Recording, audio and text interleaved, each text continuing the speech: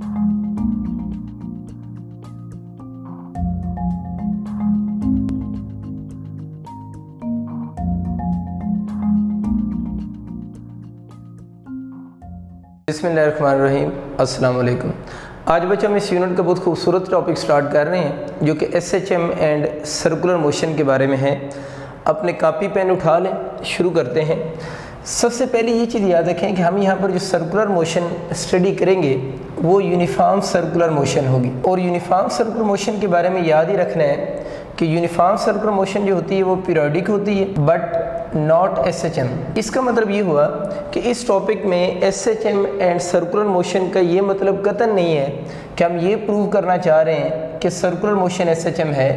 तो circular motion periodic motion ज़रूर है और circular motion S H M नहीं है। उसकी वजह ये भी है कि सर्कुलर मोशन मैंने इस यूनिट के स्टार्ट में आपको बताया था circular motion is not vibratory motion कि सर्कुलर मोशन जो है, वो वाइब्रेटरी मोशन नहीं है। तो अब सवाल ये पैदा होता है कि हम यहाँ पर फिर S H M and circular motion को इकट्ठा क्यों पढ़ रहे हैं? क्योंकि सर्कुलर मोशन तो एस एच एम है ही नहीं। तो इनको हम इकट्ठा क्यों पढ़ रहे हैं? अभी एक मैं डायग्राम बनाता हूँ, उससे ये बात समझने की कोशिश करते हैं। देखिए बच्चे, मैंने एक सर्कल ड्रॉ किया आप लोगों के लिए। इस सर्कल का रेडियस पोज कर लेते हैं आर है। और यहाँ पर एक पॉइंट पी है, जो कि यूनिफॉर्म सर्कुलर मोशन परफॉर्म कर रहा है। यूनिफॉर्म सर्कुलर मोशन का तो आपको आइडिया है ना? ऐसी मोशन को यूनिफॉर्म सर्कुलर मोशन कहते हैं, जिसमें जब बॉडी मूव करे तो उसकी स्पीड कांस्टेंट रहे। हमें पता है सर्कल में वेलोसिटी तो कांस्टेंट रह ही नहीं सकती, क्योंकि velocity in terms of direction her point पे क्या हो रही होती है चेंज हो रही होती है।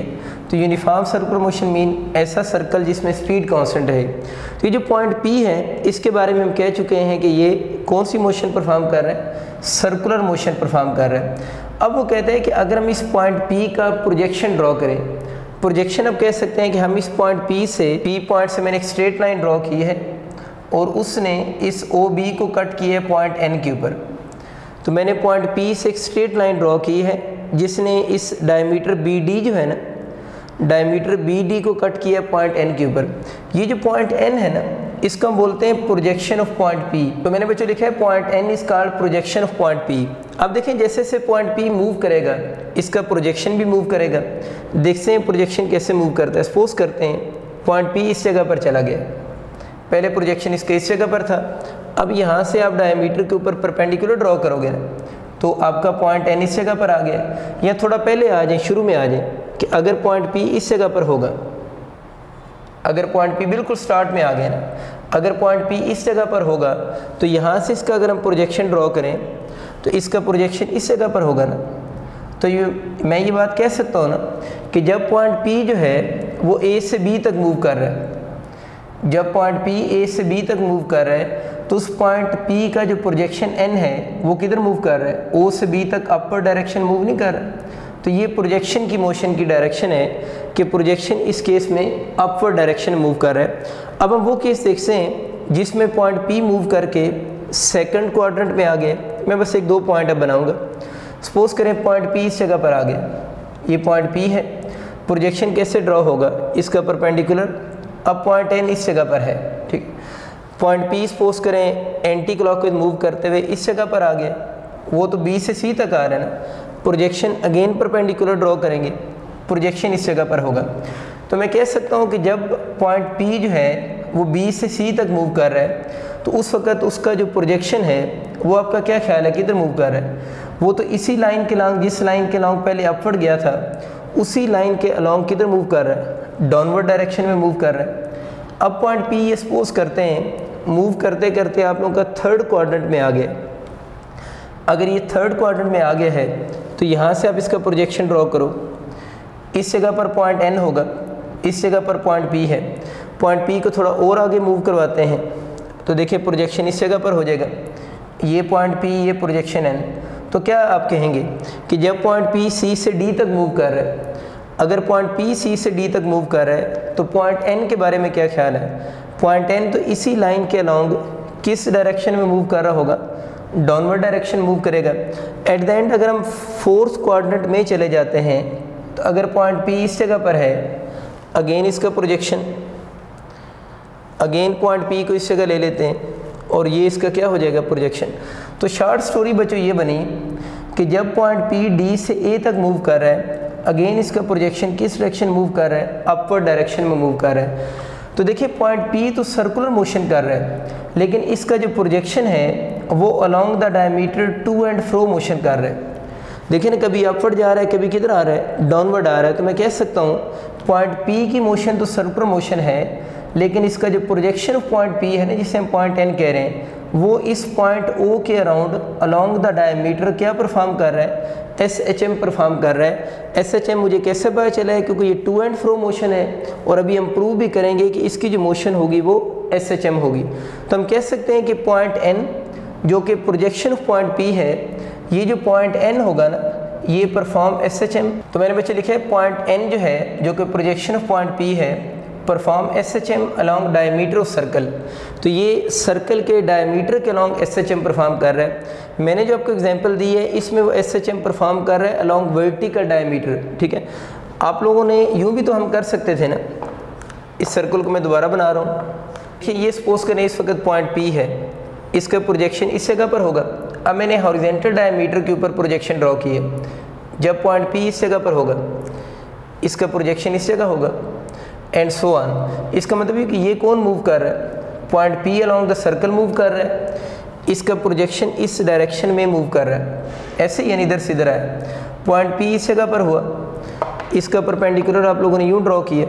अब हम हॉरिजेंटल डायमीटर के ऊपर प्रोजेक्शन ड्रॉ कर रहे हैं। ये पॉइंट पी फिर पॉइंट पी इस जगह पर आ गया। इसका प्रोजेक्शन इस जगह पर आ गया। तो प्रोजेक्शन इस डायरेक्शन मूव नहीं कर रहा। तो बिल्कुल वो मैंने पॉइंट पी को बनाना छोड़ दिया, मैं सिर्फ़ लाइन ड्रॉ कर रहा हूँ। कंसेप्ट तो वही है। इसी तरह, अब अगर आपका पॉइंट पी इस जगह पर होगा, ज़रा रिवॉल्व करते हुए यहाँ पर आ जाएगा ना तो यहाँ से प्रोजेक्शन इधर नहीं ड्रॉ होगा। ये प्रोजेक्शन जब पॉइंट पी इस जगह पर होगा प्रोजेक्शन इस जगह पर होगा तो इन शार्ट क्या बात बनी? पहले प्रोजेक्शन इधर था, अब इधर है तो प्रोजेक्शन किधर जा रहा है? वापस। इसी तरह पॉइंट पी जब किस क्वार्टर में चला जाएगा? फोर्थ में। तो यहाँ से प्रोजेक्शन ड्रॉ करें। जब पॉइंट पी इस जगह पर होगा, यहाँ से प्रोजेक्शन ड्रॉ करें। पहले प्रोजेक्शन इस जगह फिर फिर वापस। इसका मतलब ये हुआ कि अगर पॉइंट पी वही पॉइंट पी है जो सर्कुलर मोशन कर रहा है, अगर हम projection along horizontal diameter draw करें तो इसका जो प्रोजेक्शन होगा, वो इस हॉरिजेंटल डायमीटर के अलॉन्ग क्या परफॉर्म करेगा? एस एच एम इसका मतलब ये कि इस पॉइंट पी के टू प्रोजेक्शन होंगे। एक अलॉन्ग हॉरिजेंटल डायमीटर और एक ये वाला अलॉन्ग कौन सा? वर्टिकल डायमीटर एक projection along horizontal diameter S H M perform करेगा और दूसरा जो प्रोजेक्शन होगा, वो अलॉन्ग वर्टिकल डायमीटर क्या परफॉर्म करेगा एस एच एम तो ये बात हमें क्लियर होगी कि सर्कुलर मोशन खुद तो एस एच एम नहीं है, लेकिन उसका जो प्रोजेक्शन हमें नज़र आ रहा है, वो अलॉन्ग वर्टिकल डायमीटर भी टू एंड फ्रो मोशन कर रहा है। और अलॉन्ग हॉरिजेंटल डायमीटर भी टू एंड फ्रो मोशन कर रहा है। तो मैं कह सकता हूँ कि यूनिफॉर्म सर्कुलर मोशन जो होती है, वो पीरियोडिक होती है but not S H M लेकिन अगर कोई पार्टिकल सर्कुलर मोशन परफॉर्म करे तो उसका जो प्रोजेक्शन होगा, वो क्या परफॉर्म करेगा? Its projection perform S H M along diameter of circle एक बात, और मैं कह सकता हूँ कि हम वन सर्कुलर मोशन से, यानी एक सर्कुलर मोशन से कितनी एस एच एम प्रोड्यूस कर रहे हैं? तो हम एक सर्कुलर मोशन से two S H M produce कर रहे हैं, एक अलॉन्ग वर्टिकल डायमीटर और एक अलॉन्ग हॉरिजेंटल डायमीटर ये की पॉइंट है, इस पॉइंट को अपने पास लिख लें। तो मैंने बच्चों, आपके लिए लिखा है कि one circular motion can produce how many S H Ms एक सर्कुलर मोशन से कितनी एस एच एम प्रोड्यूस हो सकती हैं? तो हम कह सकते हैं कि वन सर्कुलर मोशन जो होगी वो two S H M perform करेगी और वो टू एस एच एम किधर होंगी? एक अलॉन्ग वर्टिकल डायमीटर और एक अलॉन्ग हॉरिजेंटल डायमीटर तो ये बच्चों इंट्रोडक्शन था कि S H M and circular motion में आपस में क्या रिलेशनशिप है? बहुत काम की बात अभी पढ़ते हैं, फिर आगे मूव करेंगे। देखिए, मैंने ये लिखा है कि ये यूनिफॉर्म सर्कुलर मोशन है। यूनिफॉर्म सर्कुलर मोशन अगर हो रही हो तो इस पॉइंट पी की मोशन तो सर्कुलर मोशन होगी, यानी एस एच एम नहीं होगी, लेकिन इसका जो प्रोजेक्शन होगा, वो क्या परफॉर्म करेगा एस एच एम एक और बात सुने। अगर ये जो पॉइंट पी मूव कर रहा है, ये यूनिफॉर्म स्पीड से मूव ना करे। अगर पॉइंट पी यूनिफॉर्म स्पीड से मूव ना करे तो देन इसके जो प्रोजेक्शन होगा, उसकी मोशन भी एस एच एम नहीं होगी। ये बहुत काम की बात है, इस बात को अपने पास लिख लें। तो मैंने बच्चों, आपके लिए लाइन लिखी if point P is moving with variable speed अभी हम जो पढ़ रहे थे ना, इसमें पॉइंट पी जो कि सर्कुलर मोशन कर रहा था, और उसकी स्पीड क्या थी? कांस्टेंट थी। अभी मैं कह रहा हूँ, अगर आपका एम आता है इफ़ पॉइंट पी जो कि सर्कुलर मोशन कर रहा है is moving with variable speed यानी नॉन यूनिफॉर्म सर्कुलर मोशन हो। वेरिएबल स्पीड का मतलब ये है कि नॉन यूनिफॉर्म सर्कुलर मोशन हो। तो अगर पॉइंट पी मूव कर रहा है with variable speed mean variable speed की जगह ये भी हो सकता है नॉन यूनिफॉर्म सर्कुलर मोशन हो तो फिर क्या होगा? Then its projection will not perform S H M तो फिर उसका projection S H M perform नहीं करेगा। तो सर्कुलर मोशन में जो पॉइंट पी होता है, उसका प्रोजेक्शन कब एस एच एम परफॉर्म करेगा? जब वो पॉइंट पी कौन सी मोशन करेगा? यूनिफॉर्म सर्कुलर मोशन करेगा, जिसका मतलब है कि उसमें उसकी स्पीड कांस्टेंट होगी। अगर वो नॉन यूनिफॉर्म सर्कुलर मोशन हो तो फिर उसका projection S H M perform नहीं करता। अब कुछ बच्चे यहाँ से ये समझते हैं कि शायद जो एस एच एम है सिंपल हार्मोनिक मोशन है, उसमें स्पीड कांस्टेंट होती है। ऐसा बिल्कुल नहीं है। इस बात को भी हम आगे डिटेल से पढ़ेंगे। ड्यूरिंग एस एच एम आप लोगों ने याद रखना है V is not constant during simple harmonic motion जो है, वो स्पीड कांस्टेंट नहीं होती। वो आप सारे फेमिलियर भी हैं कि इसकी स्पीड कभी मैक्सिमम होती है, कभी ज़ीरो होती है और कभी इन बिटवीन होती है। Mean point to point simple harmonic motion के दौरान स्पीड चेंज हो रही होती है। इस चीज़ पे तो आज मैं बहुत डिटेल से बात करूँगा, लेकिन अभी समराइज़ कर रहा हूँ बात को कि सिंपल हार्मोनिक मोशन में स्पीड कांस्टेंट नहीं होती। अगर कोई पॉइंट पी सर्कुलर मोशन कर रहा हो और आप ये चाहते हैं उसका projection along horizontal and vertical diameter S H M perform करे तो उस पॉइंट पी की स्पीड को क्या होना चाहिए? कांस्टेंट होना चाहिए। अगर पॉइंट पी की स्पीड कांस्टेंट नहीं होगी तो इसका जो प्रोजेक्शन होगा that will not perform S H M मैंने बच्चे दोबारा वही सर्कल ड्रॉ किया है। ये पॉइंट पी है जो एस एच जो सर्कुलर मोशन परफॉर्म कर रहा है और ये उसका प्रोजेक्शन है जो एस एच एम परफॉर्म कर रहा है। और इस पॉइंट एन का इस पॉइंट ओ से जो डिस्प्लेसमेंट है, जिसे हम इंस्टेंटेनियस डिस्प्लेसमेंट कहते हैं, वो ज़ाहिर है बार बार क्या हो रहा होगा? चेंज हो रहा होगा। जैसे जैसे पॉइंट पी सर्कुलर मोशन करेगा, इस पॉइंट एन ने along diameter B D move करना है, जिससे इसके डिस्प्लेसमेंट की वैल्यू क्या हो रही होगी? चेंज हो रही होगी। और इसका ये जो डिस्प्लेसमेंट है, इसको हम नाम देते हैं इंस्टेंटेनियस डिस्प्लेसमेंट अगर हम इस इंस्टेंटेनियस डिस्प्लेसमेंट की इक्वेशन लिखें तो इसकी इक्वेशन बनती है x equal x naught sine theta भी हम इसे लिख सकते हैं. थीटा को आपको सबको आइडिया हम ओमेगा टी भी लिख सकते हैं. तो x equal x naught sine of omega t भी हो जाएगी. ओमेगा को हम एक और फॉर्म में भी लिख सकते हैं. पहले यूनिट में हम पढ़ चुके हैं. ओमेगा को टू पाई ओवर टी भी लिखा जा सकता है ना. तो टू पाई ओवर टी हो जाएगा. इंटू स्मॉल टी आ जाएगा. और ओमेगा को हम टू पाई एफ़ भी लिख सकते हैं two pi f into small t तब अगर आपसे पूछे ना कि अगर कोई body S H M perform करे तो उसके डिस्प्लेसमेंट की कौन सी इक्वेशन करेक्ट है? तो ये उसकी इंस्टेंटेनियस डिस्प्लेसमेंट की सारी इक्वेशन करेक्ट है। ठीक होगी बात? अब ये जो फार्मूले हैं, ये सारे जनरल फार्मूलाज हैं। जनरल फार्मूला का मतलब ये है क्या है कि जो भी body S H M perform करेगा, ये सब बॉडीज़ के ऊपर ये वाले फार्मूला अप्लाई हो सकते हैं। लेकिन हम लोगों ने दो मेन बॉडीज़ की मोशन दो मेन बॉडीज़ ऐसे हैं, जिनकी मोशन को हम as an S H M study कर रहे हैं। वो एक सिंपल पेंडुलम है और एक आप लोगों ने मास स्प्रिंग सिस्टम पढ़ा हुआ है। आपको याद होगा सिंपल पेंडुलम जो होता है, उसके ओमेगा की वैल्यू जो होगी, वो अंडरूट जी बाई एल होती है। और मास स्प्रिंग सिस्टम जो है, उसके ओमेगा की value under root k by m होती है। ये मैंने बोला, ये तो जनरल फार्मूला लिखे हुए ना of any particle which is performing S H M लेकिन अगर हम इसी फार्मूले को सिंपल पेंडुलम के लिए लिखना चाहें तो आप लोगों ने इस फार्मूला में ओमेगा अगर सिंपल पेंडुलम का पुट कर देंगे तो ये डिस्प्लेसमेंट की इक्वेशन बन जाएगी सिंपल पेंडुलम की। तो उस इक्वेशन में ओमेगा को पुट करें। इक्वेशन क्या बनेगी? X equal to x naught sine of omega की जगह पर आप लोगों ने लिख सने under root g by l into t तो ये जो इक्वेशन आप लोगों के पास लिखी हुई है, ये इंस्टेंटेनियस डिस्प्लेसमेंट की इक्वेशन है, लेकिन ये स्पेसिफिकली किसके ऊपर अप्लाई होगी? सिंपल पेंडुलम के ऊपर अप्लाई होगी। इसी तरह अगर मास स्प्रिंग सिस्टम के इंस्टेंटेनियस डिस्प्लेसमेंट की इक्वेशन लिखें तो यहाँ इस ओमेगा की जगह पर अंडूट के बाई एम हम पुट करेंगे। तो इसको लिख लेते हैं x equal x not sine of under root k by m into t हो जाएगा। अब बच्चों देखते हैं इनके क्वेश्चन किस तरह के आएँगे ना। एक तो आपको ये समझ आ गया कि ये सिंपल पेंडलम के डिस्प्लेसमेंट की इक्वेशन है। तो एक तो सीधा सीधा आपका एम ये आ सकता है कि आपसे डिस्प्लेसमेंट की इक्वेशन पूछ ले।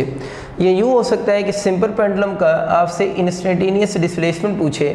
तो उस क्वेश्चन में एक तो आपको टी की वैल्यू पेंडुलम की लेंथ की वैल्यू और एम्पलीट्यूड गिवन होंगे। अगर ये तीनों चीज़ें आपको गिवन हो तो इस इक्वेशन में वैल्यूज़ पुट करके आप सिंपल पेंडुलम का किसी वक्त भी डिस्प्लेसमेंट कैलकुलेट कर सकते हैं। सेम क्वेश्चन टी कौन सा टाइम है? एट एनी इंस्टेंट ना। जिस इंस्टेंट पे आप एक्स कैलकुलेट करना चाह रहे हैं, ये वो टाइम टी है, ठीक है? टाइम पीरियड नहीं है एट एनी इंस्टेंट है ये। Same case mass spring system का भी है। इसके भी इंस्टेंटेनियस डिस्प्लेसमेंट का आपसे फार्मूला पूछेगा। अगर उसकी एग्जैक्ट वैल्यू पूछे तो आपको उसका एक्स नाट कहते हैं एम्पलीट्यूड को। एम्पलीट्यूड के एम और टी के अगर वैल्यूज़ गिवन हो तो इस इक्वेशन में पुट करके हम उसके इंस्टेंटेनियस डिस्प्लेसमेंट की एग्जैक्ट वैल्यू को भी कैलकुलेट कर सकते हैं। तो ये बच्चों, आपको आइडिया हो गया है कि हम इन, ये जो फार्मूलाज जनरल थे, उसको स्पेसिफिकली भी लिख सकते हैं सिंपल पेंडुलम के लिए और मास स्प्रिंग सिस्टम के लिए। और ये आपको आइडिया हो गया इसके किस तरह के एम आएँगे। मैं तो आपको ये रिकमेंड करूँगा कि इसके अंदर कुछ वैल्यूज़ पुट करके इसको सॉल्व करें। ज़ाहिर है जब इसका डाटा आपको गिवन होगा और पेपर में अगर आपसे एक्स पूछेगा तो यहाँ पर जब हम इसको सॉल्व करेंगे, ये एंगल को शो कर रहा है ना तो ज़रूरी है आपको ऐसा डाटा गिवन होगा जिसमें एंगल की वैल्यूज़ या तो किसकी इक्वल बन रही हो 30 डिग्री बन रही हो, या 45 डिग्री बन रही हो, या 90 डिग्री बन रही है 60 डिग्री बन रही हो। यूजली इसी तरह के एंगल गिवन होंगे। या अगर आप फर्दर आगे चले जाएँ तो एंगल 180 गिवन होगा या 270 के करीब गिवन होगा। क्योंकि इसके अलावा अगर हमें एंगल गिवन होंगे तो उनकी वैल्यूज़ हमें टेबल से नाउन ही नहीं होती। तो यहाँ जो भी डाटा आपको देगा सेम केस इसका भी है। यहाँ पर जो भी डाटा गिवन होगा, वो ये वाले एंगल आपको पता होंगे। यानी इसको जब सॉल्व करेंगे तो इनमें से कोई एंगल बनेगा, क्योंकि इन सब एंगल की वैल्यूज़ हमारे लिए क्या हैं? नाउन वैल्यूज़ हैं। कुछ एक दो वैल्यूज़ आपके लिए नहीं होंगी। जिस तरह साइन 270 की अगर बात करें ना तो साइन 270 डिग्री पे माइनस वन होता है। साइन 180 से आगे ये सारी वैल्यूज़ हमें ऑलरेडी पता है ना? क्योंकि साइन 180 पे किसकी इक्वल होता है? ज़ीरो बाकी वैल्यूज़ हम पहले पढ़ चुके हैं। 270 आपके लिए नई वैल्यू थी, वो मैंने बता दी है किसकी इक्वल होगा? माइनस वन तो ये आपको बात क्लियर होगी कि जब भी इन चीज़ों की वैल्यूज़ आप पुट करोगे, अगर क्वेश्चन आएगा तो इनमें से कोई एंगल बनेगा। और इन एंगल का जब साइन लेंगे तो ये वैल्यूज़ ऑलरेडी पहले भी हम लोग लिख चुके हुए हैं। ये बच्चों, मैंने एक बहुत कॉमन एम लिखा है। इसकी ज़रा स्टेटमेंट देखें। लिखा हुआ एट वट एंगल आपसे उसने एंगल क्वेश्चन पूछा हुआ theta for a particle performing S H M एक particle S H M perform कर रहा है तो कहता है at what angle displacement of a particle performing S H M become half अच्छा पूछ रहे डिस्प्लेसमेंट हाफ़ हो जाए, अपनी किस वैल्यू का? मैक्सिमम वैल्यू का, वो आप लोगों ने एंगल बताना है। तो क्वेश्चन उसका ये है कि आपसे एंगल पूछ रहे कौन सा एंगल जिस पे डिस्प्लेसमेंट हाफ़ हो जाए, अपनी मैक्सिमम वैल्यू का। मैक्सिमम वैल्यू का मतलब एम्पलीट्यूड होता है ना तो आपसे सिंपली एंगल पूछ रहे हैं, जिसमें एक्स जो है अपनी मैक्सिमम वैल्यू का हाफ़ हो जाए। आप लोगों को पता है कि जनरल क्वेश्चन है तो हम जनरल फार्मूला ही यूज़ करेंगे। तो जनरल फार्मूला आप लोगों के पास क्या होगा? X equal to x naught sine of omega t है, या साइन ऑफ़ थीटा ही लिख सकते हैं डायरेक्ट अब हमें पता है कि हम इसकी वैल्यू को यहाँ पर पुट करेंगे। पुट करने वाली बात तो ना ही करें तो बेहतर हम कंपेयर कर लेते हैं। इसको इससे कंपेयर करेंगे। एक्स एक्स से कंपेयर होगा एक्स नाट एक्स नाट से। तो यहाँ पर एक्स नाट के साथ जो भी नंबर लिखा होगा, किसी भी क्वेश्चन में उसको आप लोगों ने किस से रिप्लेस करना है? साइन थीटा से रिप्लेस करेंगे। तो यहाँ पर जो भी नंबर लिखा होगा, उसको बच्चों रिप्लेस किस से करना है? साइन थीटा से। तो साइन थीटा यहाँ किसके इक्वल हो जाएगा? वन बाई टू हो जाएगा। तो यहाँ से ये बच्चों में बात समझ आ गई कि यहाँ पर जो भी नंबर लिखा होगा that number must be less than or equal to one होना चाहिए। क्योंकि आपको कहते हैं, साइन को जब हम इक्वल लिखते हैं तो साइन की वैल्यू वन से ग्रेटर पॉसिबल नहीं होती। तो यहाँ पर जो भी नंबर होगा किसी क्वेश्चन में that number must be less than or equal to one होना चाहिए। क्योंकि अगर यहाँ पर टू लिखा होता तो साइन थीटा टू के इक्वल पॉसिबल नहीं होता, ठीक है? अब हमें समझ आ गया कि जब भी कोई क्वेश्चन आएगा, यहाँ पर जो भी नंबर लिखा होगा, उसको हम किसकी इक्वल पुट कर देंगे? साइन थीटा की इक्वल अब साइन की वैल्यू वन बाई टू किस एंगल पर होती है? थर्टी डिग्री एंगल पर होगी। और इस थर्टी डिग्री को अगर हम रेडियन में कन्वर्ट करें तो कितने रेडियन बनेगा? पाई बाई सिक्स रेडियन होगा। तो ये बच्चे आप लोगों ने याद रखना है कि उसका क्वेश्चन ये था कि किस एंगल पर डिस्प्लेसमेंट हाफ़ हो जाएगा अपनी मैक्सिमम वैल्यू का? तो अगर एंगल रेडियन में देखेगा तो अल्फ़ा ऑप्शन होगा। और डिग्री में सॉरी अल्फ़ा ऑप्शन होगा। रेडियन में तो इसमें लिखा ही नहीं हुआ तो सम टाइम डिग्री और रेडियन दोनों लिखे होते हैं। अगर डिग्री भी हो, रेडियन में भी साथ मैच करे तो फिर आप लोगों का जो करेक्ट ऑप्शन होगा वो बोथ ए एंड बी बनेगा। तो ये आपको आइडिया हो गया कि जब भी कोई इस तरह की इक्वेशन हो, यहाँ पर कोई भी नंबर लेस देन और इक्वल टू वन गिवन हो तो हम वहाँ से एंगल कैलकुलेट कर सकते हैं, जिस पे वो डिस्प्लेसमेंट एग्जिस्ट कर रहा होगा। अगर वो टेबल की वैल्यू आ जाती है तो हम एग्जैक्ट आंसर लिख लेंगे। अगर वो टेबल की वैल्यू नहीं है तो फिर आपका आंसर साइन इन्वर्स की फॉर्म में होगा। बात को थोड़ा और समझते हैं कि टेबल की वैल्यू ना होने का मतलब क्या है? सपोज़ करें, अगर आपका क्वेश्चन यूँ आ जाता है at what angle displacement become one by four time of its maximum value तो अब आपको पता है, यहाँ पर जो भी नंबर होगा, उसको साइन से कंपेयर करना है। तो यहाँ से मुझे बताओ ना साइन थीटा किसकी किलो जाना था? वन बाई फोर अब साइन की value one by four table में नहीं है। तो इसके जब पेपर में बच्चों एम के ऑप्शन लिखे होंगे यूँ ही लिखा होगा theta equal to sine inverse one by four, यानी सारे ऑप्शन साइन इनवर्स की फॉर्म में होंगे तो इसी को आप लोगों ने करेक्ट ज्यूम करना है। एक तो एंगल के क्वेश्चन आ जाएँगे, वो अब आप इजीली कैलकुलेट कर सकते हैं। नेक्स्ट इसी क्वेश्चन में मैं थोड़ी सी चेंज करता हूँ। अगर एट वट एंगल की बजाय एट वट टाइम आ जाए यानी अगर एट वट एंगल की बजाय आपके क्वेश्चन में क्या चीज़ आ जाए एट वट टाइम आ जाए तो फिर आप इसको कैसे सॉल्व करेंगे? अगर टाइम के क्वेश्चन भी आ जाएँ तो मैं तो आपको यही रिकमेंड करूँगा कि पहले आप एंगल ही कैलकुलेट करें। यानी टाइम के क्वेश्चन आए, तब भी पहले एंगल ही कैलकुलेट करें। टाइम के ऑप्शन कुछ यूँ होंगे। टी बाई सिक्स ये T by twelve T by eight T by four इस तरह टाइम के ऑप्शन गिवन होंगे। तो फ़र्स्ट ऑफ़ ऑल आप लोगों ने इसी तरह एंगल ही कैलकुलेट करना है। एंगल आपका कैलकुलेट हो गया। उस एंगल को आप लोगों ने रेडियन में पहले कन्वर्ट कर लेना है। तो देखिए थीटा किसकी करा रहा है आपका? पाई बाई सिक्स रेडियन आ रहा है। अब हमें क्वेश्चन में टाइम पूछा हुआ है। तो इस थीटा को हम क्या लिख सकते हैं? अभी हम लोगों ने पढ़ा था ओमेगा टी भी लिख सकते हैं। तो your omega T pi by six radian omega किसकी इक्वल होता है? Two pi over T into small T equal to pi by six radian हो जाएगा। अब हमें क्वेश्चन में क्या चाहिए? स्मॉल टी की वैल्यू चाहिए ना? Small T in terms of capital T चाहिए ना? तो देखिए, ये पाई इस पाई से कैंसिल हो गया। इस स्मॉल टी को आप उसी साइड पर रहने दें। ये स्मॉल टी सी साइड पर रहेगा। ये कैपिटल टी उधर ऊपर चला जाएगा और टू इस सिक्स से मल्टीपल होकर क्या हो जाएगा? ट्वेल्व तो इस केस में जो टाइम बनेगा, वो आप लोगों का टी बाई ट्वेल्व टाइम की कल होगा। तो ये बच्चों, आपको आइडिया हो गया कि इस तरह हम टाइम भी कैलकुलेट कर सकते हैं और इस मेथड से हम एंगल भी कैलकुलेट कर सकते हैं।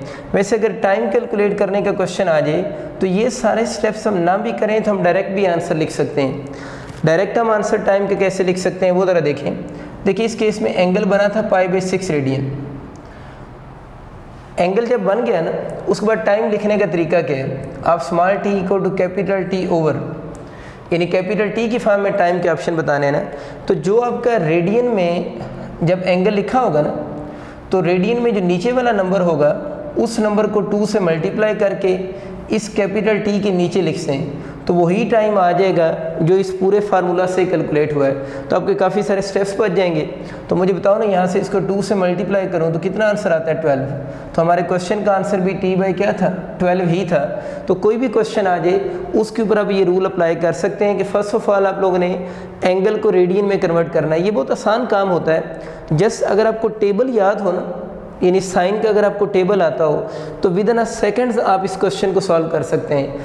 कैसे within a second solve कर सकते हैं? मैं आपको एक और एग्जांपल देता हूँ। उसके अकॉर्डिंग दोबारा आप अप्लाई कीजिएगा। देख से आंसर कितना जल्दी आपसे कैलकुलेट होता है। सपोज़ करें बच्चे, आपका एम क्यू यूँ आ गया है कि आप लोगों ने वही टाइम बताना है टी बताना है। जब डिस्प्लेसमेंट जो है, वो one over under two times of its maximum value है। बाकी वही क्वेश्चन है ड्यूरिंग एस एच एम वाली बातें अप्लाई हो रही हैं। तो आप मुझे बताओ ना, यहाँ पर जो नंबर लिखा होगा, आप लोगों ने क्या याद किया है? उसको किससे कंपेयर करना है? साइन से। ज़रूरी तो नहीं है कि साइन से कंपेयर करके उसके इक्वल लिख के हमें समझ आएगा। हमें पता है ये वाला नंबर साइन के इक्वल होता है। जिस तरह मैं बता रहा हूँ ना बच्चों, उसी तरह चीज़ों को सोचा भी करें। ये नंबर साइन थीटा के इक्वल होता है। तो साइन थीटा की value one by under two किस एंगल पर होती है?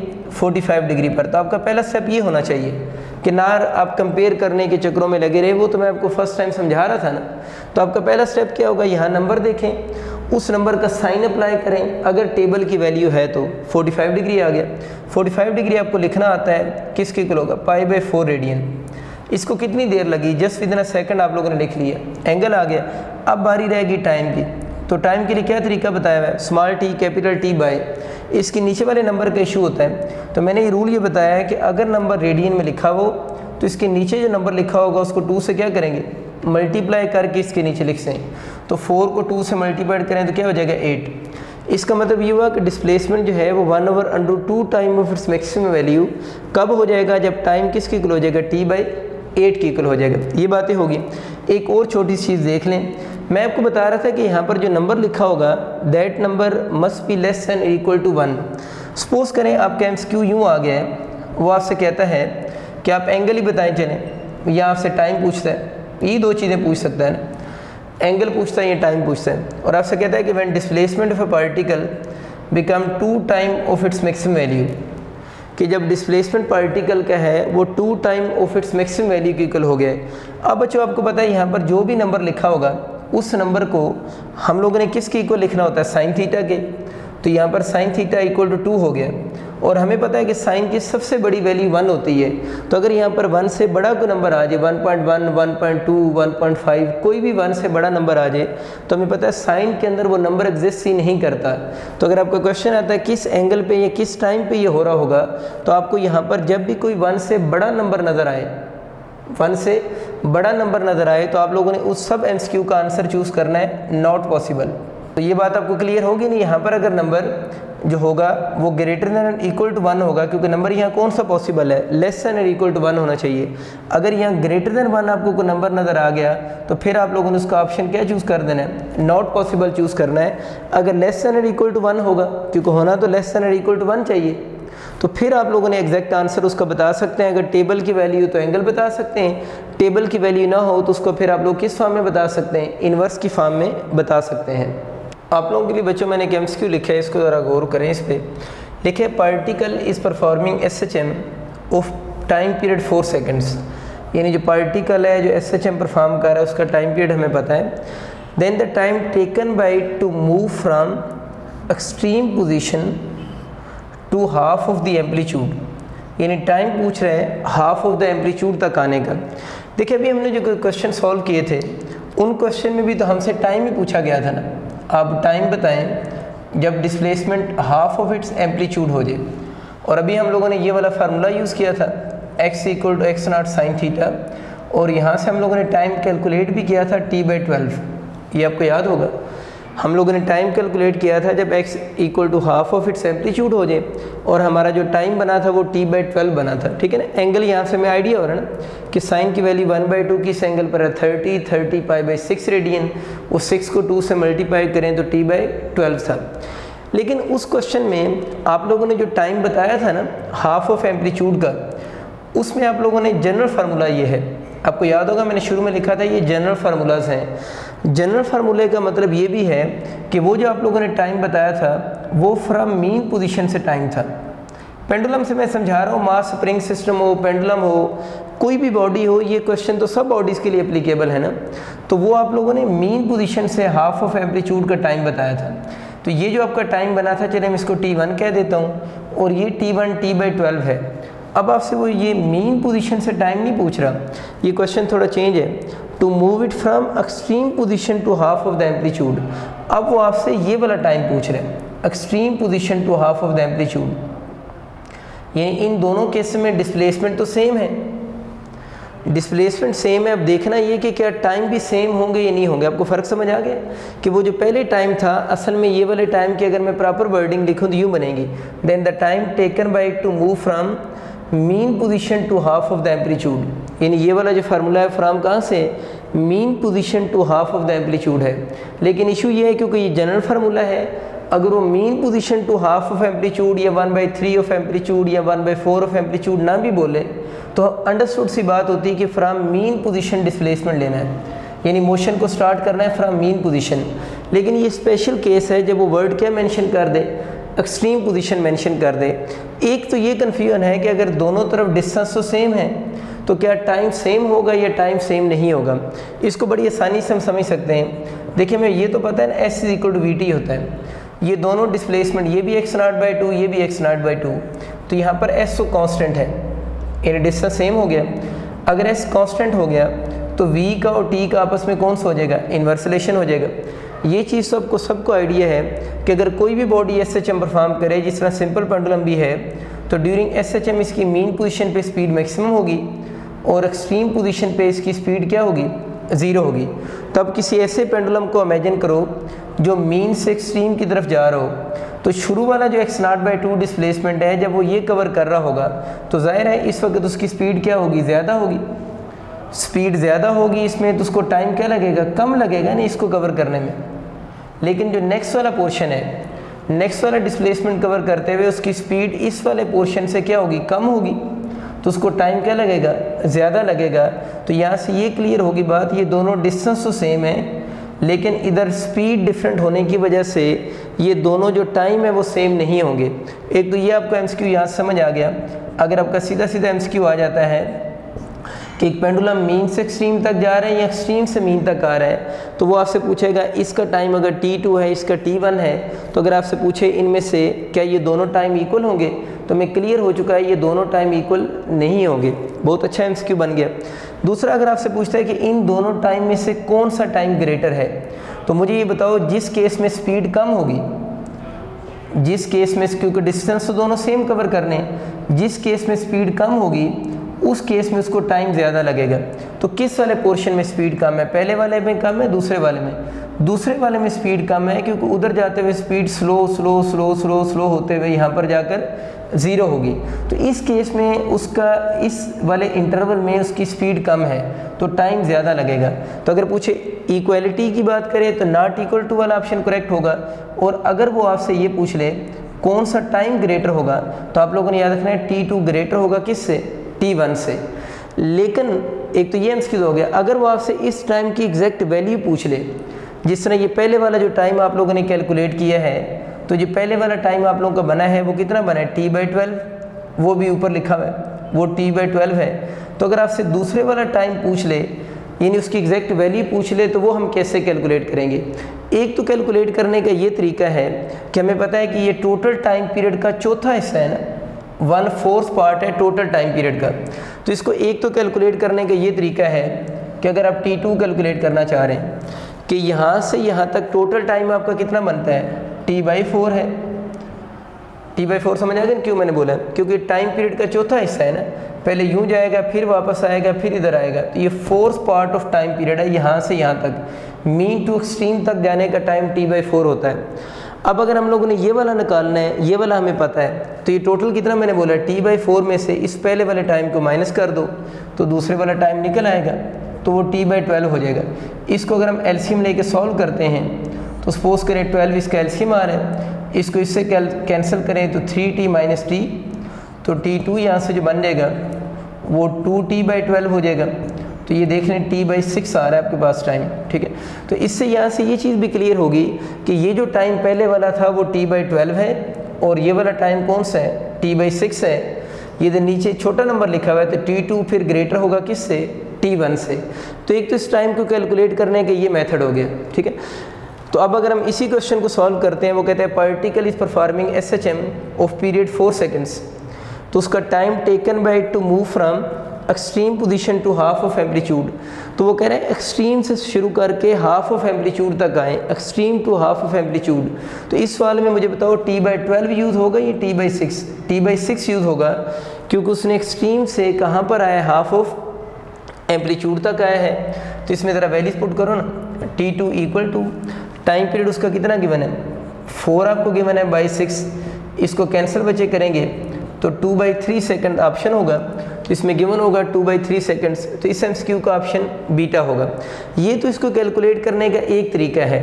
लेकिन ज़रा खुद सोचो कि अगर पेपर में ये वाला एम क्यू आ जाए सपोज़ करें तो मैंने जिस मेथड से इसको सॉल्व किया है, मैंने तो इस मेथड से इसको सॉल्व किया है ना। तो इस मेथड से अगर आप आंसर कैलकुलेट करना चाहते हो तो आपको अच्छी खासी ज़्यादा ख्वारी करनी पड़ेगी। ख्वारी क्या है कि पहले आपको टी वन निकालना पड़ेगा, उसके बाद आप टी वन में से टी वन की जो वैल्यू आएगी ना, जो कि आपका टी बाई ट्वेल्व आई है, उसको इस total time T by four में से क्या करेंगे? माइनस करेंगे, फिर जाकर आंसर आएगा। तो इंटरेस्ट में एम में हमारे पास इतना टाइम तो होता नहीं है कि हम इतनी ज़्यादा कैलकुलेशन करते रहें। तो हम कुछ ऐसा करते हैं कि जब ये मीन पोजिशन से शुरू करता है तो इसका फार्मूला ये वाला होता है ना, और इस फार्मूले से एंगल या टाइम बनाना हम लोगों ने सेकंड में सीख लिया हुआ है। तो हम कुछ ऐसा करते हैं कि एक्सट्रीम से मीन तक का भी फार्मूला लिख लेते हैं।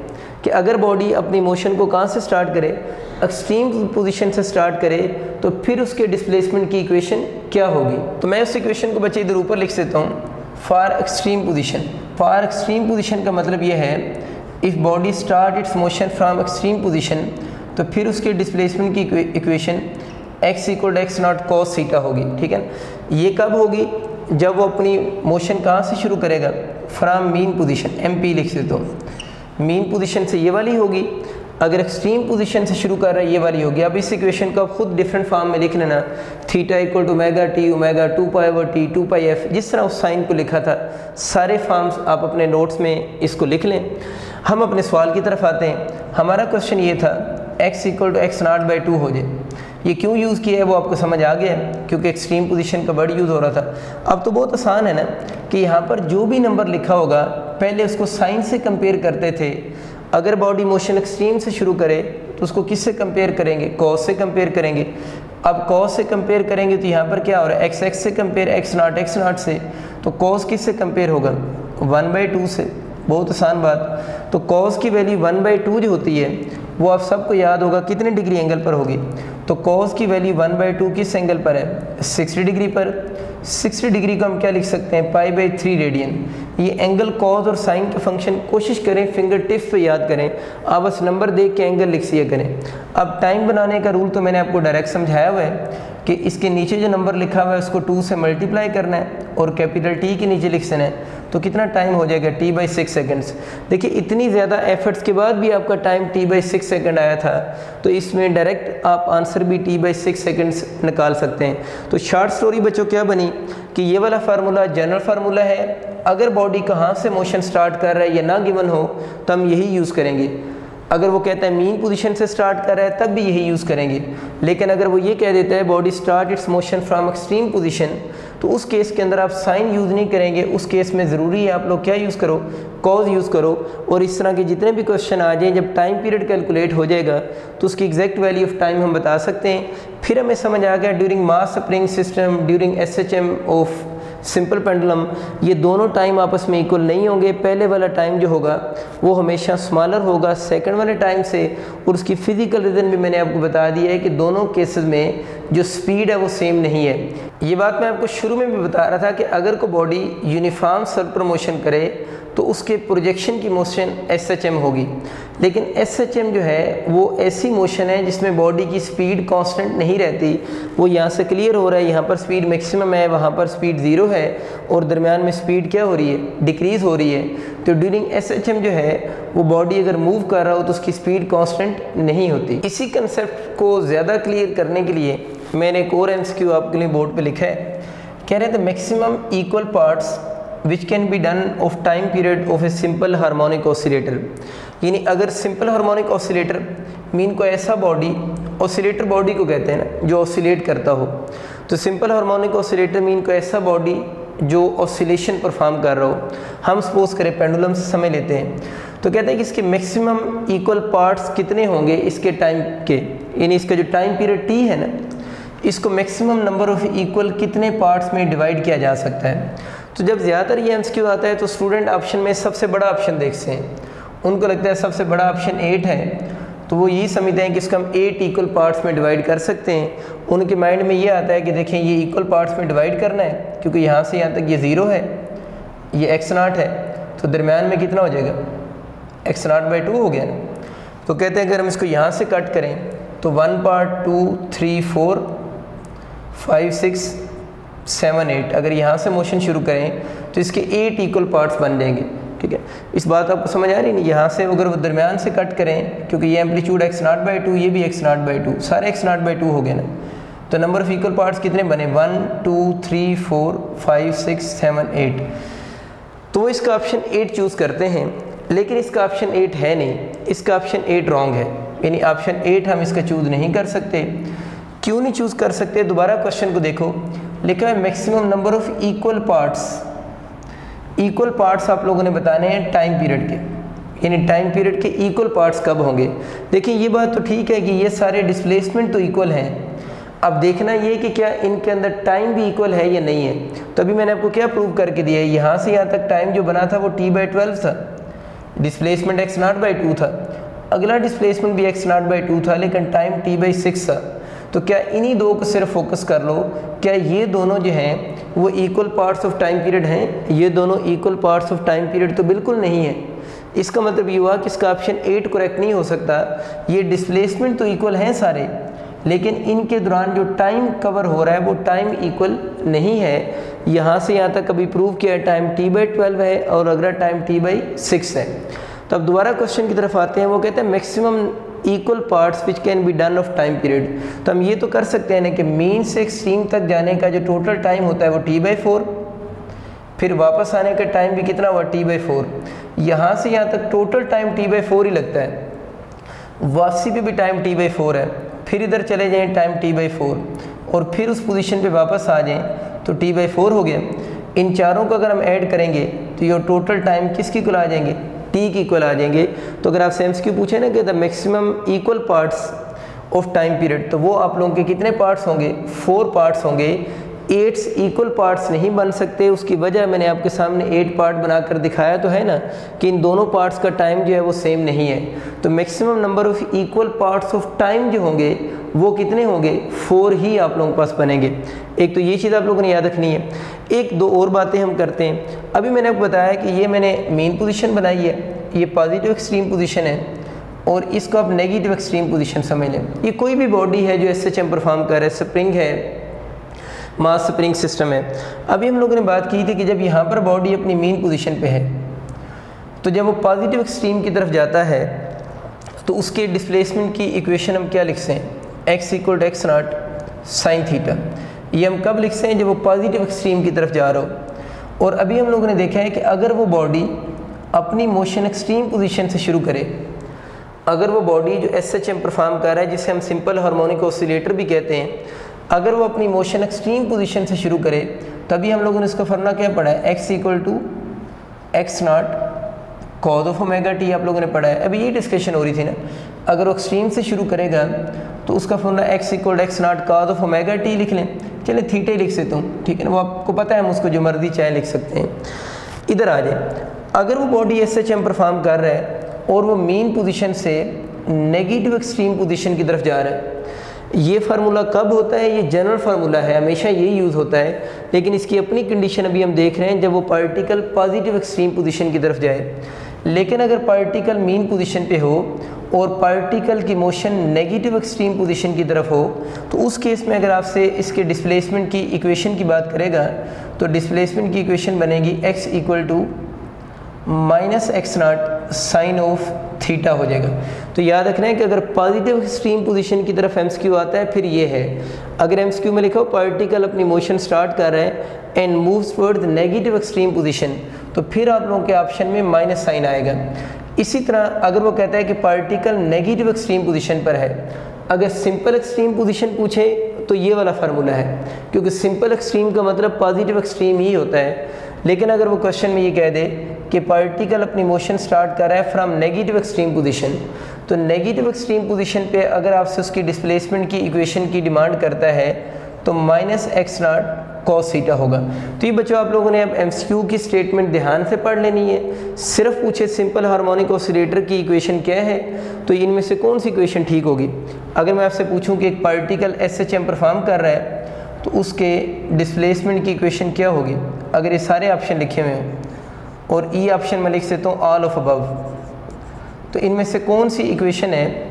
इंस्टेंटेनियस डिस्प्लेसमेंट की for a particle which is performing S H M तो ये सारी इक्वेशन है ना ये एक ही पार्टिकल है ना जो एस एच एम परफॉर्म कर रहा है. डिफरेंट पॉइंट से वो गुजर रहे हैं. तो डिफरेंट पॉइंट से जब वो गुजरेगा तो उसकी इक्वेशन चेंज होती रहेगी. तो अगर कंडीशन मेंशन ना हो तो सारे ऑप्शन ठीक होंगे. लेकिन अगर वो कह देता है particle S H M perform कर रहा है उसके इंस्टेंटेनियस डिस्प्लेसमेंट की इक्वेशन बताओ। When it start its motion from negative extreme position तो फिर सिर्फ़ यही वाला ऑप्शन करेक्ट होगा। अगर वो कहते हैं, एक particle S H M perform कर रहा है, और वो मीन पोजीशन से नेगेटिव एक्सट्रीम पोजीशन की तरफ़ जा रहा है, उसके डिस्प्लेसमेंट की इक्वेशन क्या होगी? तो उसके लिए formula minus x naught sine theta होगा। और बाकी इन दो पे हम पहले ही डिटेल से बात कर चुके हैं। अब बच्चों, हम थोड़ी सी बात करते हैं ग्राफ के ऊपर। कि अगर कोई particle S H M perform कर रहा हो, यानी एस एच एम के ग्राफ्स हम देख रहे हैं, और ग्राफ हम बात कर रहे हैं डिस्प्लेसमेंट वर्सेस टाइम के, कि अगर कोई particle S H M perform करे तो उसका डिस्प्लेसमेंट वर्सेस टाइम ग्राफ कौन सा होगा ना? डिस्प्लेसमेंट वर्सेस टाइम ग्राफ की बात कर लें, या डिस्प्लेसमेंट वर्सेस एंगल थीटा भी बात कर लें तो बात एक ही है। डिस्प्लेसमेंट वर्सेस टाइम या डिस्प्लेसमेंट वर्सेस थीटा की बात करें तो चीज़ एक ही है। टाइम के साथ ज़्यादा ग्राफ आते हैं तो मैंने different graph x t graph बना दिए हैं। टी की जगह पर अगर हम थीटा भी लिख सें तो ग्राफ की शेप को कोई फ़र्क नहीं पड़ेगा। तो आप लोगों ने याद रखना है डिस्प्लेसमेंट वर्सेस टाइम ग्राफ अगर आप लोगों से शेप पूछेगा तो आप लोगों ने शेप में वर्ड याद रखना है साइनोसाइडल कुछ बच्चे ये समझते समझते हैं कि साइनोसाइडल का मतलब होता है साइन का ग्राफ साइनोसाइडल का मतलब साइन का ग्राफ नहीं होता। साइनोसाइडल इंग्लिश लिटरेचर का वर्ड है जिसके मीनिंग होते हैं वेव फॉर्म के। तो किसी भी चीज़ का ग्राफ अगर इस तरह वेव जैसा है ना तो उसकी ग्राफ की शेप को हम क्या बोलते हैं? साइनोसाइडल ही कहते हैं। तो आप लोगों ने याद रखना डिस्प्लेसमेंट वर्सेस टाइम ग्राफ की अगर आपसे शेप पूछे ड्यूरिंग एस एच एम तो साइनोसाइडल ही होगा। यानी सब का ऑप्शन आप लोगों ने साइनोसाइडल ही चूज़ करना है। लेकिन मसला ये है कि हम लोगों ने जब डिस्प्लेसमेंट की इक्वेशन लिखी है, वो तो डिफरेंट इक्वेशन है। कुछ में कॉज आता है, कुछ में साइन आता है, कुछ में माइनस साइन आता है और कुछ में माइनस कॉज आता है तो अगर क्वेश्चन में वो मेंशन कर दे कि बॉडी कहाँ से अपनी मोशन स्टार्ट कर रहा है। अगर बॉडी कहाँ से अपनी मोशन स्टार्ट कर रहा है तो उस दौरान ग्राफ का जो स्टार्टिंग पॉइंट जो होगा, वो क्या हो जाएगा? चेंज हो जाएगा। ओवरऑल शेप तो साइनोसाइडल ही रहेगी। हम सपोज़ करते हैं कि अगर इस इक्वेशन का मैं ग्राफ बनाऊँ x equal to x naught sine of omega t का। ये अब मैं बार बार नहीं लिख रहा, आपको पता चल चुका है कि ये कौन सी है? मीन पोजीशन से इक्वेशन है और इसकी कंडीशन क्या है? जब मीन पोजीशन से पॉजिटिव एक्सट्रीम की तरफ़ जाए तो आप लोग दो बातें वैसे याद रख लेना कि जब भी कभी साइन थीटा का ग्राफ आप लोगों ने प्लाट करना हो, आपको ये साइन थीटा की शेप याद होनी चाहिए। बाकी बातें आप सारी छोड़ें। और जब भी कभी कॉस थीटा का ग्राफ प्लाट करना हो तो आपको ये याद होनी चाहिए किसकी शेप है कॉस सीटा की। अगर आपको ये चीज़ें पता हैं कि साइन थीटा के ग्राफ की ये शेप होती, भूल भी जाए तो यूँ सोच लो, ये डिस्प्लेसमेंट के एक्सेस है, ये थीटा या टाइम के एक्सेस है ना? तो थीटा ज़ीरो यहाँ पुट करो ना। थीटा ज़ीरो पे साइन ज़ीरो होता है तो ग्राफ ओरिजिन से शुरू होगा। इधर भी डिस्प्लेसमेंट वर्सेस टाइम या थीटा ग्राफ है ना? तो थीटा ज़ीरो पुट करो ना। तो थीटा ज़ीरो पे कॉस ज़ीरो पे कितना होता है वन तो इसका ग्राफ टॉप से शुरू होगा। यही फ़र्क भी है कि इसका ग्राफ ज़ीरो से शुरू होता है, इसका ग्राफ टॉप से शुरू होता है। जिस फ़ंक्शन में साइन आता हो और जिस फ़ंक्शन में काज आता हो। तो ये आप याद कर लें बस। ये साइन थीटा का ग्राफ है एक कॉस थीटा का ग्राफ है। बाकी जो भी ग्राफ आ जाएँगे साइनोसाइडल अगर ये दो ग्राफ सही तरह पता हो तो इन्हीं की शेप को देखकर हम बाकी सारे ग्राफ्स भी बना सकते हैं। आए बनाते हैं। देखिए ना साइन थीटा लिखा हो या साइन ओमेगा टी हो, बात तो एक ही है ना, इसको थीटा भी आप लोग लिख सकते हैं। अब इसमें सिंपल साइन थीटा लिखा हुआ है, ठीक है? या साइन ओमेगा टी अब कर लें, पॉजिटिव है। तो जब पॉजिटिव है तो उसका ग्राफ हम लोगों ने याद किया, अब यहाँ से ग्राफ शुरू करेंगे। ये इसके ग्राफ की शेप होगी, बात ख़त्म। कि ये कौन सा ग्राफ है? डिस्प्लेसमेंट वर्सेस टाइम ग्राफ है of any particle which is performing S H M और अगर ज़्यादा डेप्थ में जाएँ, अगर कंडीशन लगी हुई हो तो इसकी कंडीशन क्या है कि जब वो मेन पोजीशन से स्टार्ट करे और मूव करे टवर्ड्स पॉजिटिव एक्सट्रीम पोजीशन दूसरे बच्चे इस ग्राफ के ऊपर आ जाए. X equal to x naught cos theta या कॉज ऑफ़ ओमेगा टी इस केस में हमें पता है ये वाला ग्राफ ये वाली इक्वेशन कब है? जब बॉडी अपनी मोशन स्टार्ट करे कहाँ से? पॉजिटिव एक्सट्रीम पोजीशन से तो इसमें कॉज पॉजिटिव आ रहा है और काज पॉजिटिव का ग्राफ तो यही होता है। तो इस ग्राफ को आप लोगों ने यहाँ पीक से शुरू कर लेना है। तो पीक से शुरू करके आगे आप लोगों ने वही साइनोसाइडल वेफॉर्म तो कितना आसान है, अगर कॉज वगैरह पता हो।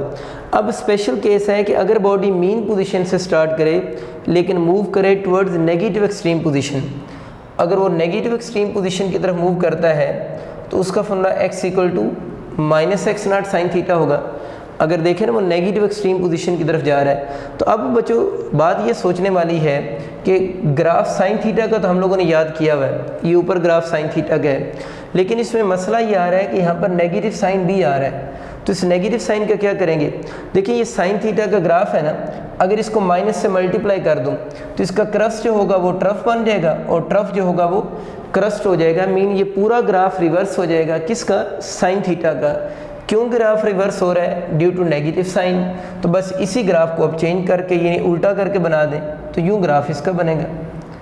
तो ये देख लें, ये भी डिस्प्लेसमेंट वर्सेस टाइम ग्राफ है of any particle which is performing SHM लेकिन ये ग्राफ की शेप कब होगी? जब वो अपनी मोशन को स्टार्ट करेगा मेन पोजीशन से टवर्ड्स कौन सा? नेगेटिव एक्सट्रीम पोजीशन जाएगा। अच्छा अब आते हैं इस ग्राफ की तरफ़। अब कौन सी पोजीशन बच गई है? अब आपकी पोजीशन जो बच गई है, वो कौन सी? नेगेटिव एक्सट्रीम पोजीशन बच गई है और नेगेटिव एक्सट्रीम पोजीशन पे अभी हम लोगों ने इक्वेशन जो देखी है। Minus x naught cos of omega t है, ये कॉस सीटा है। तो हम लोगों ने ये जो ग्राफ बनाया, ये कॉस सीटा का बनाया हुआ है। लेकिन अभी हमें नेगेटिव एक्सट्रीम पोजीशन से अगर शुरू करना है तो ग्राफ हमें माइनस कॉस सीटा का बनाना है। अगर माइनस कॉस सीटा का बनाना है तो इसी ग्राफ को माइनस वन से मल्टीप्लाई करो। माइनस से मल्टीप्लाई करोगे तो ये उसका पॉजिटिव नेगेटिव बन जाएगा और नेगेटिव सारे पॉजिटिव बन जाएँगे। तो ये पॉजिटिव से शुरू हो रहा है तो वो ग्राफ बच्चों कहाँ से शुरू होगा? नेगेटिव साइड से। उसी तरह ऊपर जाएगा एंड सो वन तो ये आप लोगों ने कुछ ग्राफ्स याद रखने हैं, कि इन ग्राफ की बेस पर अब आप इजीली कोई भी एम आ जाए, उसको आप लोग अटैम्प्ट कर सकते हैं। एक और एम बच्चे लेते हैं जो आपके पास पेपर का है। इस एम को रीड करने से पहले आप लोग एक छोटा सा और काम करें। आप लोगों ने जिस तरह साइन कॉस और टेन के टेबल याद किए हुए आपको याद होगा उन टेबल्स में यही वैल्यूज़ रिपीट होती हैं one by two one by under two under three by two under three और वन बाई अंडर थ्री यही वैल्यूज़ उसमें रिपीट हो रही होती हैं। ये वैल्यूज़ आपको टेबल में तो याद है, आप लोगों ने इन वैल्यूज़ को पॉइंट्स में भी याद रखना है। पॉइंट्स में याद रखने का मतलब है कि point five one by two होता है one by under two point seven zero seven होता है under three by two point eight double six होता है। ये बात बिल्कुल ठीक है कि विदाउट कैलकुलेटर तो ये वैल्यूज़ नहीं याद हो सकती। लेकिन क्योंकि पास पेपर का आपका एम है यूनिवर्सिटी में रिपीट हो चुका हुआ है, उस, इस एम में यही टेक्निक यूज़ हो रही है। तो इसलिए बेहतर यह है कि आप इन वैल्यूज़ को फ्रैक्शन में भी याद रखें। मतलब आपको पता हो पॉइंट फाइव सेवन जो है वो वन बाई अंडर थ्री की इक्वल होता है। सब वैल्यूज़ को नहीं कह रहा, सिर्फ़ जो साइन कॉज और टेन के टेबल में यही वैल्यूज़ आती हैं। इन वैल्यूज़ को आप लोगों ने अच्छे तरीके से रिपीट कर लेना है। बेहतर यह है कि अभी वीडियो को पास करें और उसको 10-12 दफ़ा ऊँचा ऊँचा बोलें, ताकि घर वाले इकट्ठे हो जाएँ, फिर याद भी हो जाएँगी ठीक है। क्वेश्चन शुरू करते हैं जी। क्वेश्चन बच्चों ये है, बहुत खूबसूरत क्वेश्चन आपके पास पेपर में आया हुआ है। A body is performing S H M along diameter of circle हमें पता है कि बॉडी जो है, वो अलॉन्ग डायमीटर इसको मैं चलें बी डी कह देता हूँ। इस बी डी डायमीटर के along S H M perform कर रहा है। अलॉन्ग डायमीटर सर्कल और मैं पता है जो body S H M perform करता है वो पॉइंट एन हम उसे बोलते हैं ना। ठीक है नहीं? एस एच एम परफॉर्म कर रहा है, ये उसका डिस्प्लेसमेंट है। और ये सर्कल में उसका रेडियस भी होता है और उसी का एम्पलीट्यूड भी कहते हैं ना। ये ओ पी रेडियस भी है और सर उसका एम्पलीट्यूड भी यही होता है। अच्छा its instantaneous displacement is 8 centimetre इसका मतलब है कि इस क्वेश्चन में हमें इस एक्स की वैल्यू जो गिवन है, वो 8 सेंटीमीटर गिवन है। और इसका जो सर्कल का रेडियस होता है ना जो सर्कल का रेडियस होगा, वही इस पॉइंट एन का क्या होगा? मैक्सिमम डिस्प्लेसमेंट मीन उसका एम्पलीट्यूड वही होता है ना?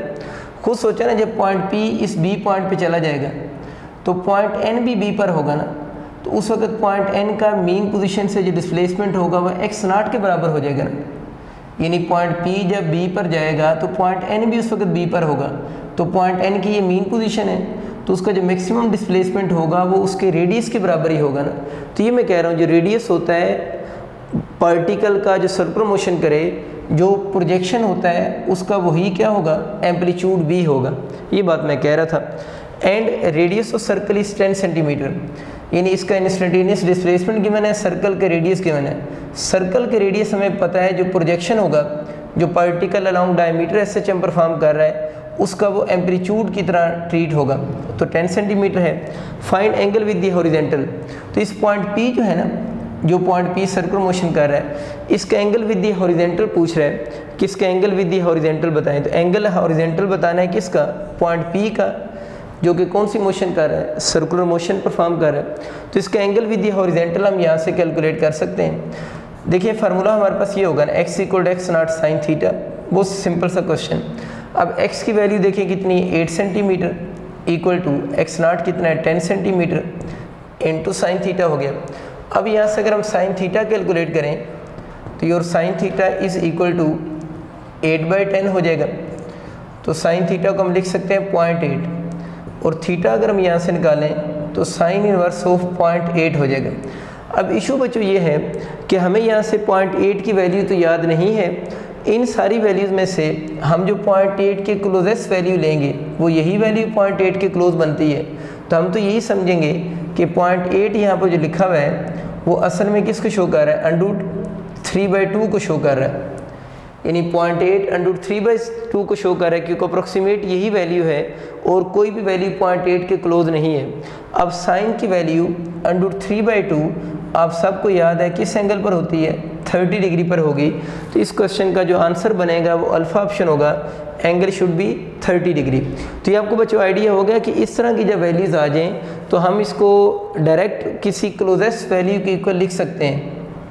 वो तभी हम लिख सकते हैं जब ये वाली वैल्यूज़ हमें याद हैं, ये वाली वैल्यूज़ अगर आपको फ्रैक्शन में याद हों तो फिर ही हम इस क्वेश्चन को सॉल्व कर सकते हैं। अदरवाइज़ इस तरह के क्वेश्चन हमसे बहुत ईजी वे से फिर सॉल्व नहीं होते। कुछ बच्चों डिस्प्लेसमेंट के ऐसे क्वेश्चन आते हैं, जिसमें आपको इस तरह की इक्वेशन गिवन होती है। और इसमें डिफरेंट चीज़ें आपसे पूछता है। से आपसे कह देता है इसका एम्पलीट्यूड कैलकुलेट करें। आपसे एंगुलर फ्रिक्वेंसी पूछ सकता है। सिंपल फ्रिक्वेंसी पूछ सकता है।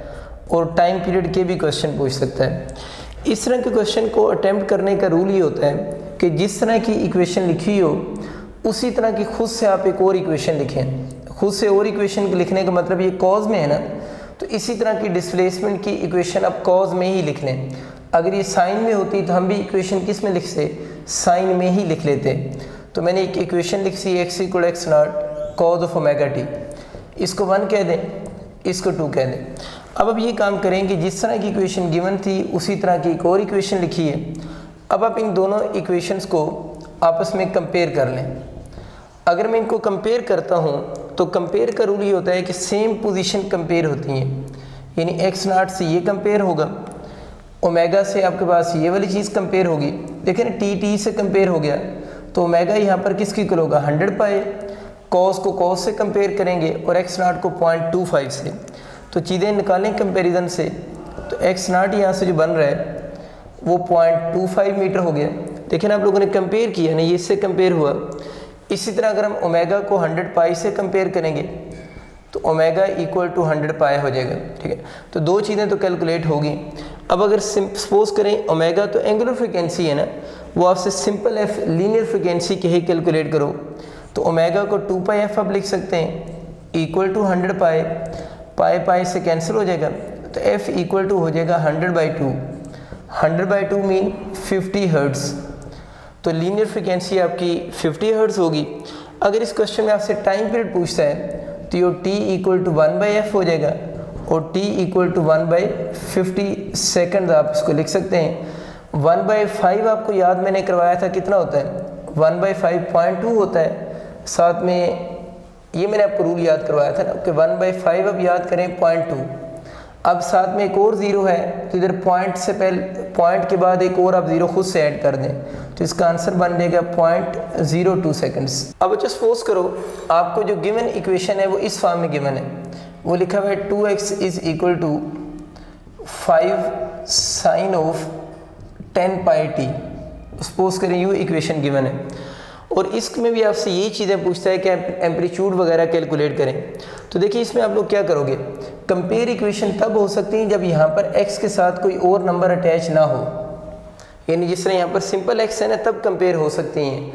अगर यहाँ पर कोई और नंबर अटैच होगा तो उस नंबर को पहले आप दूसरी साइड पे शिफ्ट करेंगे, फिर कंपेयर करेंगे। तो यहाँ पर इसको दूसरी साइड पे शिफ्ट करें तो x इज़ इक्वल टू क्या हो जाएगा? Five by two sine of ten pi t अब अगेन आप लोगों को आइडिया हो चुका है। ये इक्वेशन आप लोगों ने बना ली। बस यही रूल होता है कि अगर इसके साथ नंबर हो तो कंपेयर करने से पहले यहाँ के जो भी कांस्टेंट होगा, उसको दूसरी साइड पे शिफ्ट करना होता है। अब आप इसको कंपेयर करने के लिए इक्वेशन लिखें खुद से। देखिए, ये साइन में है तो आप भी साइन से ही इक्वेशन लिखेंगे। एक्स नाट कंपेयर करो, कितना बना जी आपके पास? फाइव बाई टू मीटर हो गया। ओमेगा कितना हो जाएगा? टेन पाए अगेन ओमेगा को हम ओपन करके क्या लिख सकते हैं? Two pi f equal to ten pi. देखें ना, दो चीज़ें तो कैलकुलेट होगी है ना। एग्ज़ाम में वो जो चीज़ पूछेगा, वही कैलकुलेट करेंगे। पाए पाए से कैन, कैंसिल हो जाएगा। तो एफ़ आपका जो बनेगा, वो टेन बाई टू तो फाइव हर्ट्स आप लोगों के पास एफ़ की वैल्यू आ जाएगी। अब अगर अगेन वो अगर टाइम पीरियड की बात करता है तो टाइम पीरियड बच्चों one by f, one by five तो वन बाई फाइव कितना होता है? पॉइंट टू सेकेंड्स को कहते हैं। तो इस तरह जो टाइम पीरियड होगा वो पॉइंट टू सेकेंड्स होगा। तो बहुत फ़ेमस बात है। ये जो पंजाब की बुक है, उसमें प्रॉब्लम सेवन पॉइंट एट भी ये है, ठीक है? तो 7.8 प्रॉब्लम भी है। तो इसी तरह के क्वेश्चन भी बनकर आते हैं कि आपको इक्वेशन गिवन होती है। आप उसी तरह की डिस्प्लेसमेंट की इक्वेशन लिख के ये चार चीज़ें वहाँ से ईजिली कैलकुलेट कर सकते हैं। देखिए बच्चे, उसी पैटर्न का मैंने एक और एम आप लोगों के लिए लिखा है। इसमें कह रहे थे displacement of a particle performing S H M is given by या एक्स लिखा हो या वाई लिखा हो इससे फ़र्क नहीं पड़ता। एक्स और वाई दोनों ही डिस्प्लेसमेंट को शो करते हैं। इस फॉर्म में इक्वेशन गिवन है। मसला ये कि इसमें कॉज भी आ रहा है और साइन का फ़ंक्शन साइन कॉज दोनों आ रहे हैं। The amplitude of oscillation is इस केस में एम्पलीट्यूड कैसे कैलकुलेट करेंगे? इसका बच्चे मेथड ही होता है एम्पलीट्यूड कैलकुलेट करने का, जो साइन का फ़ंक्शन है। यानी साइन से जो पहले नंबर लिखा हुआ है, उसको नोट करें। जो कॉज से पहले लिखा हुआ है, उन दोनों को नोट करें। तो इस केस में एम्पलीट्यूड कैलकुलेट करने का मेथड ये होगा कि आप अंडूड का साइन यूज़ करेंगे। जो साइन से पहले फ़ंक्शन लिखा हुआ है, जो भी नंबर यहाँ पर लिखा होगा, उस नंबर का आप लोगों ने स्केयर लेना है।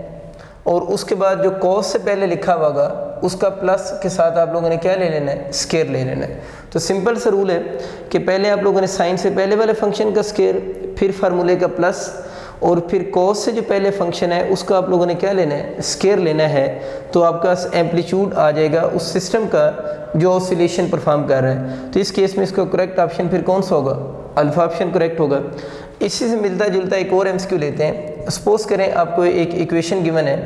X is equal to three sine of omega t plus four cos of omega t ये इक्वेशन को गिवन है।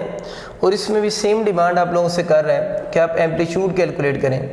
तो मैंने क्या रूल बताया? एम्पलीट्यूड कैलकुलेट करने के लिए अंडूड का साइन ये कब अंडूड का साइन यूज़ करना है, जब साइन और कॉज दोनों गिवन हो। अदरवाइज़ एम्पलीट्यूड कैसे कैलकुलेट करते हैं? जब सिंगल फ़ंक्शन हो तो बताया है कि डायरेक्ट कंपेयर कर लेते हैं। वो आप सीख चुके हुए हैं। इसमें रूल क्या है कि साइन से जो पहले आ रहा है, उसका स्केयर प्लस फार्मूला का कॉस से जो पहले आ रहा है, उसका स्केयर हो जाएगा। तो कितना बन जाएगा? थ्री का स्केयर नाइन प्लस फोर का sixteen under root twenty five तो आपका एक्स नाट यहाँ से जो बनेगा वो फाइव मीटर की इक्वल हो जाएगा। अगर हमें ये इक्वेशन सिस्टम इंटरनेशनल में गिवन है तो एक्स नाट यहाँ से फाइव मीटर की इक्वल बनेगा। अल्लाह पाक आप सबको कामयाब करे। अल्लाह हाफिज़।